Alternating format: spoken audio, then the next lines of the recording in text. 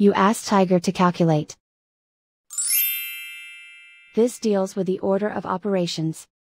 The final result is negative 4. Let's solve it step by step. Calculate any addition or subtraction, from left to right. Minus plus minus.